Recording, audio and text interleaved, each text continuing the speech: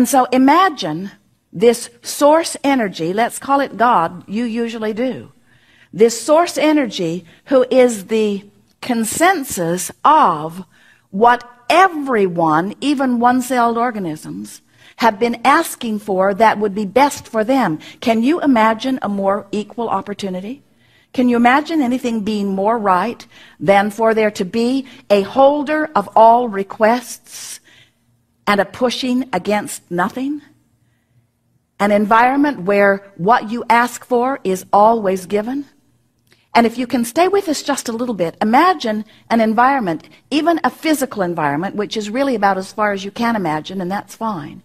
Imagine a physical environment where everyone is making their personal and important valid request from where they stand from whatever just happened. And when they ask for whatever it is, they get it. And then we just want to remind you that every single thing that any of you have ever asked for or ever will ask for is for one reason only. You think you will feel better in the having of it.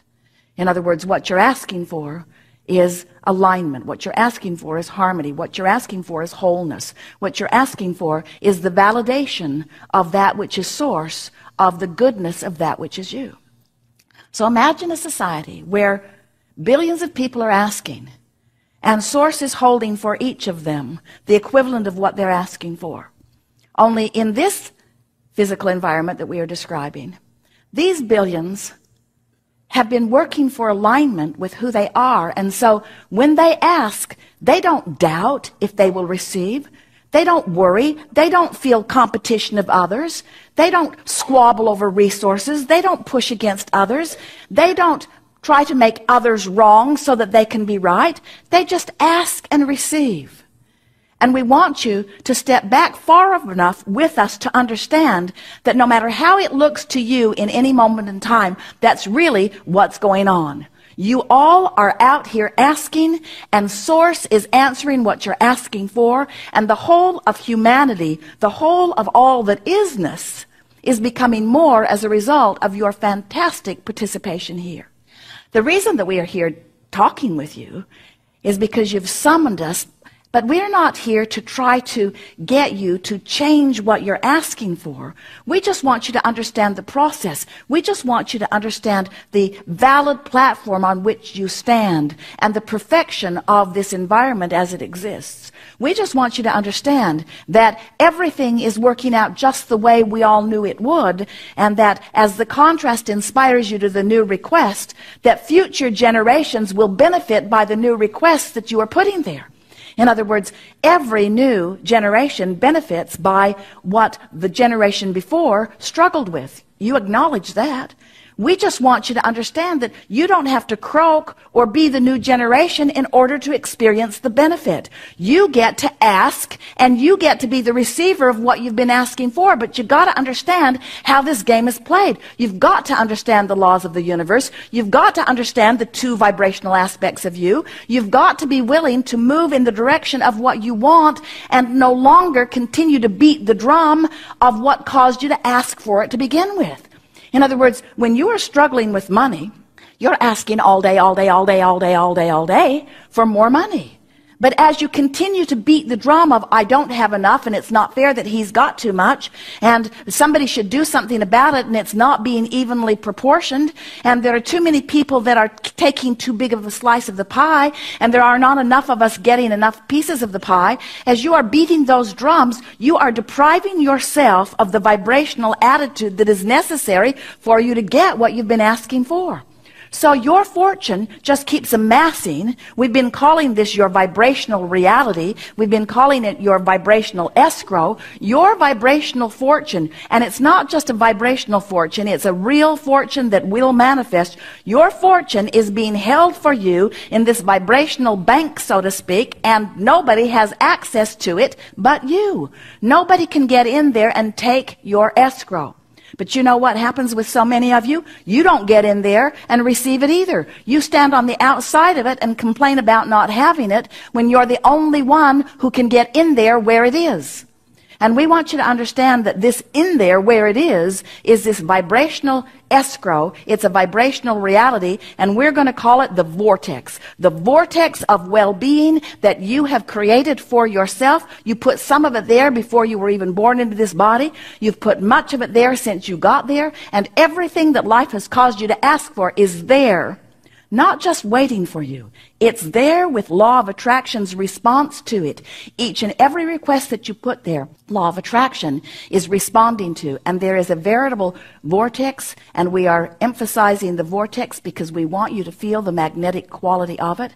We want you to understand that when you ask for something, everything that is necessary for the fulfillment of this that you have asked for is being summoned to it all cooperative components. So when you ask for a lover, a lover of a certain stature, a lover of a certain look, a lover of a certain attitude, a lover of a certain financial condition, a lover of a certain love, a lover, when you ask for a lover, that lover is there, that lover is summoned, and every component that you've asked for has been summoned to this vortex, and it is there all cooperative components have been summoned. The question that this workshop wants to ask and help you answer is, are you a cooperative component?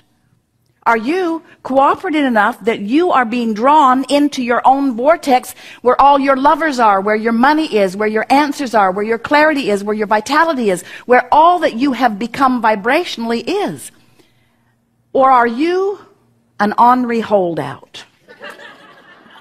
Beating the drum of, I've been asking so long and it never comes to me, and I'm getting tired of looking and all the good ones are taken. And it's really not fair, and my friend has a lover and she isn't worthy of the lover that she's got. She doesn't treat him right, and yet there they are together, and I would be such a wonderful lover, but I don't have a lover. I don't have a lover. I don't have a lover. I don't have a lover. I don't have a lover. And we say, Yes, you do. You've got a lover. It's done. You got a lover. You're just not where your lover is. Your lover's over there in love. Your lover's over there. Your lover's over there with all the other cooperative components. Your lover, your lover will wait forever for you because the universe has the ability to keep putting a new lover in the place till you get ready. A new lover in the place. Well, that one went. A new lover in the place. Well, that one went. A new lover in the place. A steady stream of lovers is making their way to your vortex on the rare occasion that you might get in the vortex, you see. But you gotta wanna be in there. You gotta wanna be in there more than anything else. You gotta wanna be in there more than complaining. You gotta wanna be in there more than validating. You gotta wanna be in there more than being right. Because often you are so right about the wrongness that you are focused upon. You are so right. You've got evidence. You've got emails. You have other bloggers. You have evidence of the wrongdoing that you are using as your justification not to go in the vortex. When you get in the vortex, you don't feel up in arms about others. When you're in the vortex, you're in this magical swirl of all things working out for you. And there are so many people who have discovered what that is. And they are people who have learned to talk about what they want, not about what they don't want. They are people who have learned to praise rather than criticize. They are people who have learned to be optimistic rather than pessimistic. They are people who have trained themselves thought by thought into the vortex. And that's really what we're talking about. For you to be the immediate beneficiaries of the escrow that you have lined up for yourself, you have to become become a vibrational match to it.